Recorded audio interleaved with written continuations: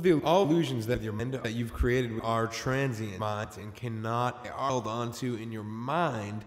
be held onto and if they are held, then you will feel trapped and alone